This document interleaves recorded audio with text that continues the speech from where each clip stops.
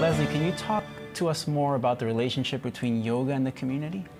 Um, this has actually been my life's work. Um, when I first started out on this path 25 years ago in South Florida, there wasn't very much of a yoga community going on. And I know it's like that in pockets of the world all over the place. People are on this spiritual journey. They're learning the poses and um, learning about the history and the philosophy, and they're doing the work sort of like solo.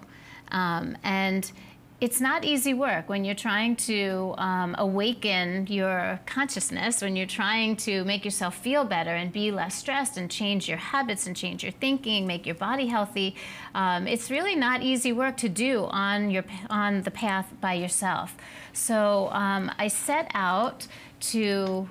Um, to fix that problem and create community around me. So, find other people in the South Florida community that were um, on the same path and work on ways that I could not just um, just hold regular classes like a lot of places were, but to like get people to gather and come together and connect. Like I said earlier, um, like we need each other. You know, and so when you're on a spiritual journey to have support, there's like really nothing like it. Other people you can talk your stuff out with.